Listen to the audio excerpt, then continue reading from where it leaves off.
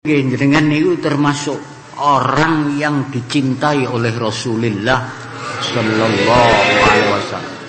Niki sing dawuh Kanjeng Nabi dewi.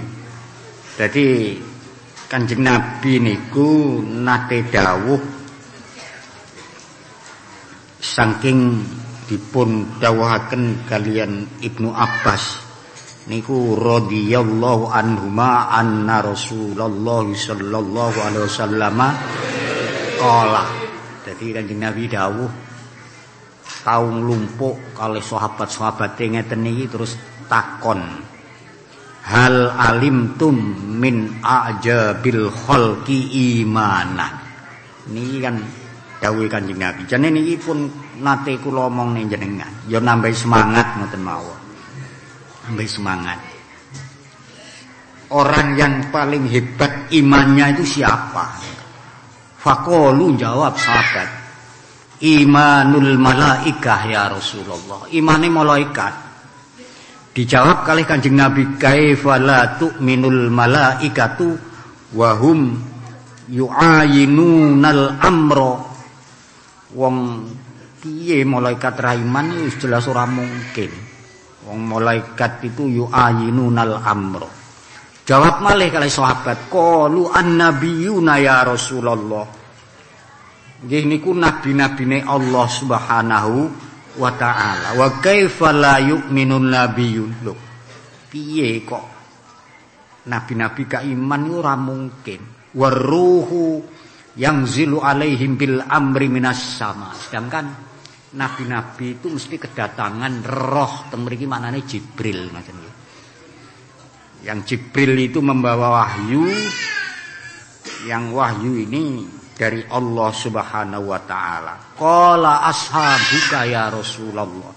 Sahabat niku muni malih qalu matur sapa sahabat nggih niku ashabuka ya Rasulullah Nggih sahabat-sahabat panjenengan Kanjeng Nabi. Faqala dijawab kalih Kanjeng Nabi.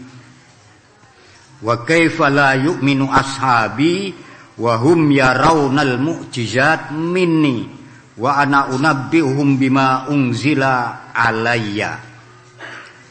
Ya ora mungkin sahabat ora iman sebab sahabat itu melihat saya tahu tentang mukjizat yang saya terima mesti iman.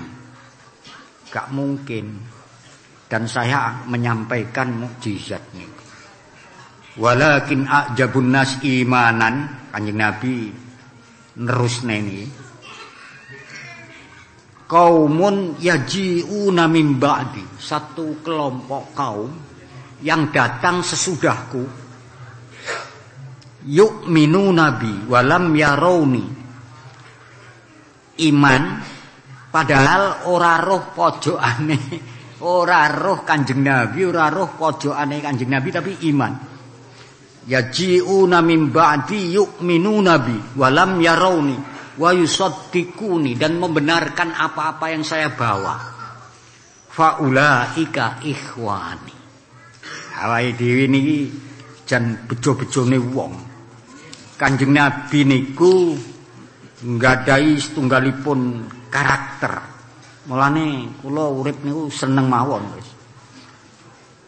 Jadi kebaikan itu sebenarnya Islam itu sesuatu yang nyaman. Jadi harus disampaikan dengan nyaman. Wong kebaikan kok kalah karo karaokenan itu kan ya kleru.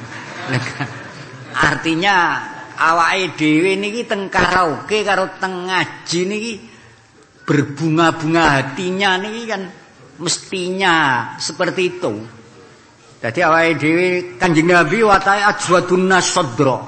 Ajwadun nasodro itu memiliki hati yang paling pemurah di antara manusia.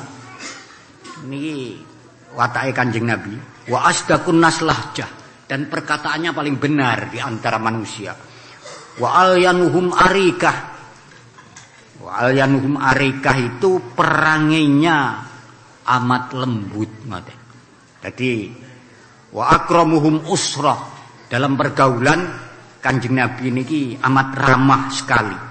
Man ra'ahu badihatan haba. Apabila dia melihat orang itu akan segan. Wa man khalatuhu ma'rifatan yaquluna ituhu lam ara qablahu wala ba'dahu mislahu sallallahu alaihi. Apabila kita kok mukhalatoh niku bercampur amor niku pasti kita akan mengatakan tidak ada orang yang sebelumnya dan sesudahnya seperti akhlaknya Rasulullah sallallahu alaihi wasallam. Maka dari itu kula niki pilih uh, seneng mawon. Dadi ora usah rekoso angel-angel ngoten. Awake dhewe seneng mawon. Sampai Kanjeng Nabi niku ndawone wajabat hadis qudsi niku. Wajabat syafaati. Wajabat syafaati. Wajabat syafaat. Ping telu sampean. Kanggene sinten? Lil mutahabina orang yang saling kasih-kasihan di dalam agamanya Allah Subhanahu wa taala. Walil mutajalisina dan orang yang duduk bersama membicarakan tentang kehidupan ini, membicarakan tentang bagaimana Islam ini sebaiknya. Jadi Islam ini akan berjalan terus kalau orang sing alimun niku gelem ngolah. Bukan tergantung dengan menteri agama, mboten. Lho sak enten menteri agama Islam ini sudah berjalan, mboten. Padha karo orang itu akan makan bukan tergantung dengan menteri pertanian. Lek petani gelem nandur, awake dhewe yo ngadok, ngoten. Nggih napa?